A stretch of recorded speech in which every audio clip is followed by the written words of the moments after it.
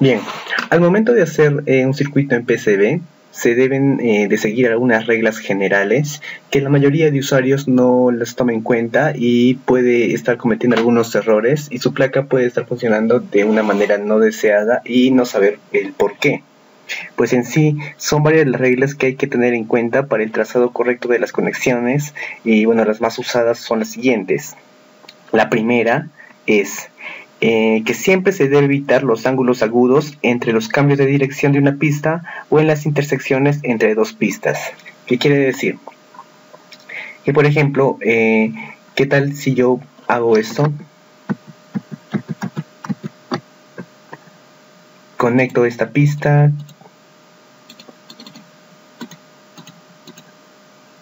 Y viene por aquí. Hacia esta pista después esto y pues yo hago esto directamente. Pues aquí me genera un ángulo agudo ¿sí? pero esto no es lo correcto pues yo debo hacer esto. Evitar los ángulos agudos entre las conexiones. Esto también está mal. Aquí hay un ángulo muy agudo bueno, es casi recto. ¿Qué tal si hago esto también?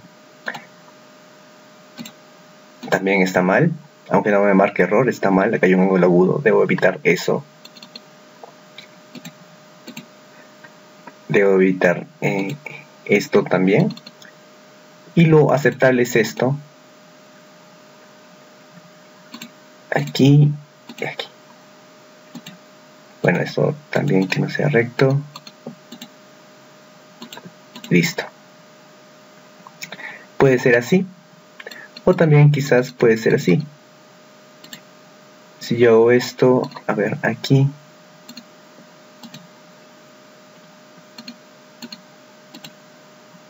Vamos a hacer esto.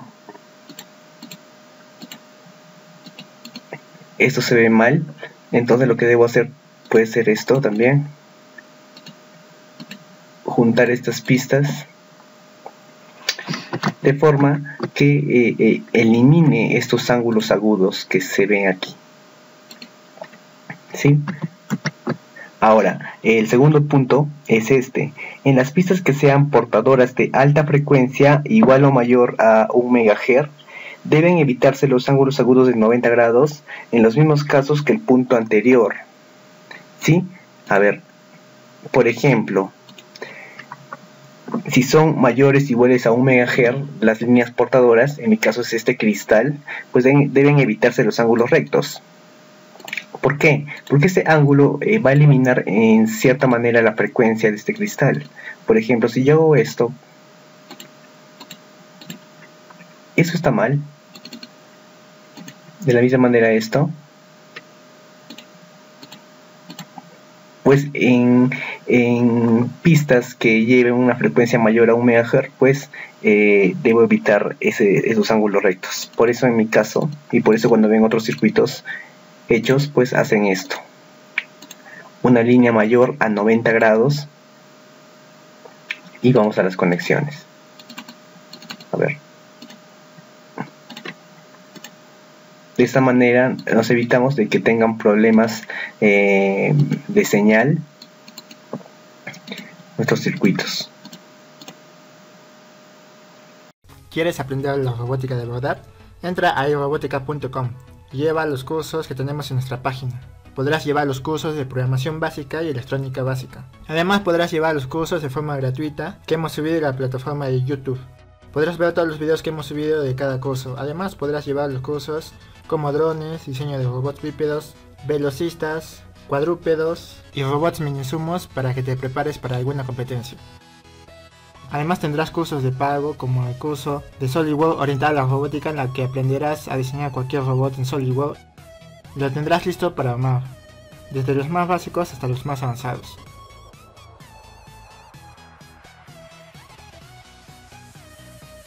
Es el curso de requisito para poder llevar el curso de diseño de robot hormiga y robots hexápodos.